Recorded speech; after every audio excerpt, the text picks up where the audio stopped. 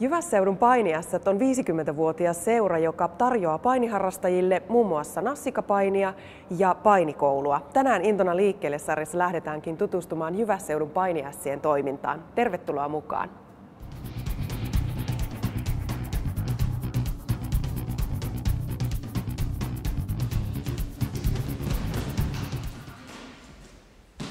No Paaniaset on erikoisseuraksi aika vanha, että me seura täytti tänä vuonna 50 vuotta, että Paaniaset on perustettu vuonna 1963. Että Paini on älyttömän monipuolinen laji, turvallinen, halpa ja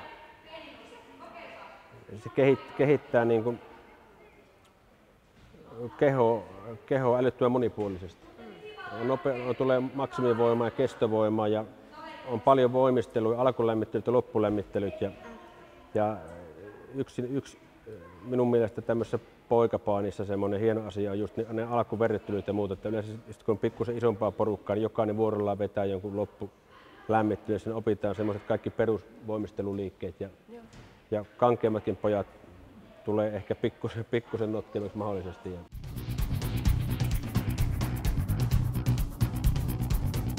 Tähän taisitkin jo kertoa, että minkälaiset on ne perustreenit, mutta mitä asioita siellä sitten käydään läpi? No se perustreeni on semmoinen, että ensin on, otetaan alkulämmöt, eli joko pelataan jotain peliä, tuollaisella pehmeällä pallo, jalkapalloa, taikka sitten mennään tätä mattoa ympäri ja tehdään semmoisia perinteisiä painiliikkeitä, kuperikeikkoja ja, ja tuota, niin, haarahyppyjä ja semmoisia mattoon puottoja ja vatso, vatsoja ja et, etunoja punneruksia ja sillä lailla vedetään sitä lämpöä, niskat, niskat lämmitellään yleensä ja, ja tuota, niin sitten sinne keskivaiheella on, on sitten jossakin jotakin, yleensä jotakin määrättyä liikettä harjoitellaan ja sitten joku aika on sitten paino. Eli niin kuin joku jotakin taistelutilannetta tai sitten tuota, aivan semmoisia lyhkäisiä, lyhkäisiä ikään kuin pystypainien sitten.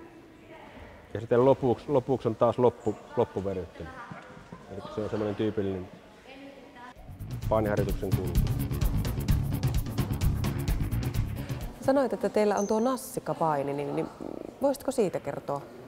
No nassikkapaini on semmoinen neljästä, neljästä kuuteen tai alle, alle kouluikäisille, eli alkaa noin neljästä ikävuodesta semmoinen, se on semmoista voimistelua ja pelaamista ja leikkimistä painisalissa ja painimolskilla ja semmoista jotakin pientä vääntämistä polviasennosta, että se ei, se ei ole vielä semmoista varsinaista painia, mutta semmoista energiaa kuluttavaa temmeltämistä ja, ja tuota, niin, semmoista liikunnan riemua ja, ja tuota, niin yhdessä tekemistä, että se nyt ei vielä ole varsinaista painia, mutta tuota, siinä lapset oppii ja vanhemmat oppii käymään, tulee painisali tutuksi ja jo, jollain lailla lajitutuksi. Ja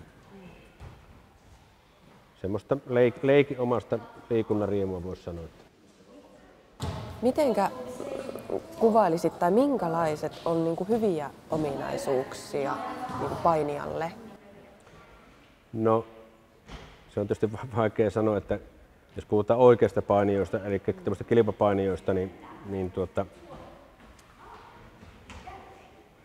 mitä korkeammalle mennään, niin sitä, sitä enemmän tulee henkiset ominaisuudet ja keskittymiskyky ja tuota, niin semmoinen itseluottamus ja taistelutahto ja peräantamattomuus, mutta, tuota, mutta sitten siinä matkalla niin tietenkin niitä pystyy kehittämään, mutta tämmöinen äh, hyvä koordinaatio ja nopeus ja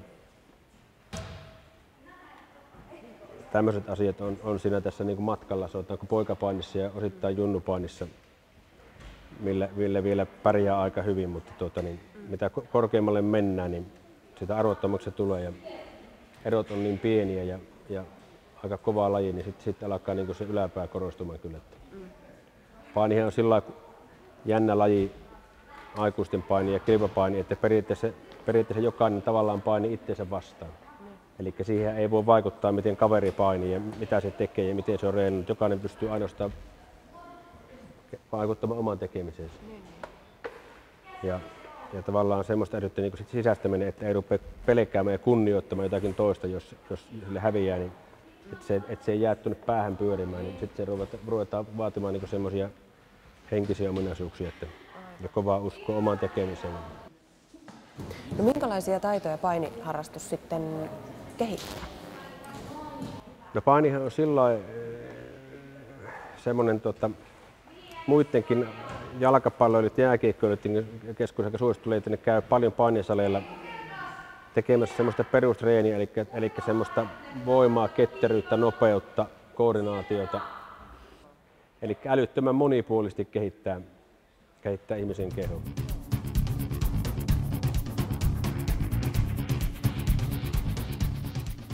Tämä on kuitenkin kontaktilaji sillä tavalla, että ollaan niin toisen, toisen kanssa ikään kuin nujutaan. Joo, kyllä. Ja sitten tietysti se, että kun, se, kun sitten jos, jos, jos, ja kun käydään salilla kolme neljä kertaa viikossa ja toisten kanssa nujuta ja ollaan lähellä ja otetaan kontaktia, niin tietenkin sitä seuraa sitten se, että jos joku jossakin muulla tulee lähelle, niin se ei ole vielä katastrofi, eikä ne hermot mene siitä, jos sitä tekee neljä kertaa viikossa salilla muutenkin. Että siihen, siihen tottuu semmoisen, että, että sitten se hermo kestää kyllä semmoisen normaalin lähestymisen.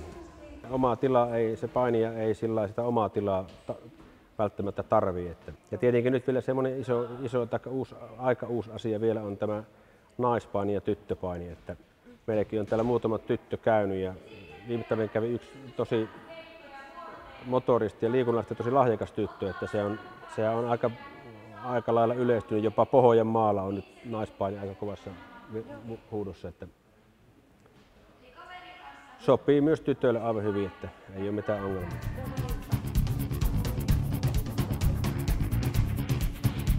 No meillä on vuorot sekä painikoululle että nassikkapainille ja sanotaan, että varsinkin nassikkapaini on semmoista, että, että tänne kyllä tulee sitä porukkaa niin paljon kuin tänne mahtuu, että oikeastaan semmoinen yksi vetäjä ei pysty varsinkaan niitä niitä pieniä, kun ne on aika vilikkaita ja tuota, kovia, kovia touhuamaan, niin semmoinen 15 rupeaa olemaan melkein jo maksimi. Että eikä oikeastaan painikouluunkaan tähän mahdu enempää. Että kyllä se painikoulussa 15 henkeä alkaa olemaan jo niin kuin semmoinen määrä, että enempää, varsinkin nyt tämä matto on vähän, ei ole aivan täydessä mitassa, niin kyllä se rupeaa se määrä siinä olemaan.